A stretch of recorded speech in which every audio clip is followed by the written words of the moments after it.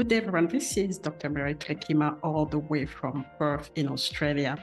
Uh, I am a, uh, an award winning engineer. I'm also a consultant in the energy and um, STEM sector, which are um, very male dominated.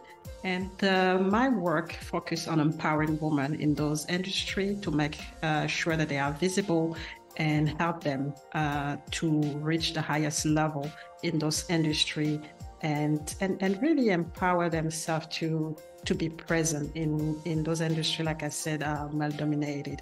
And today I really want to uh, congratulate uh, Wittgossip Association and Medicaps University Indore for, um, you know, bringing up the uh, fourth edition of the Global Peace and Sustainable Development Summit 2024 which is a summit that uh, you know wants to educate future generation for equitable tomorrow.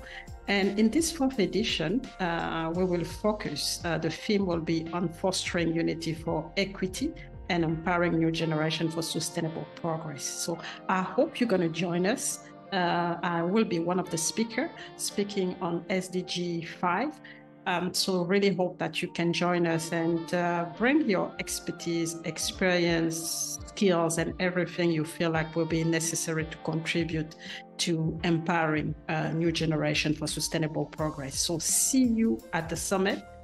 And um, I hope you will really enjoy it and get out of you this summit fully empowered.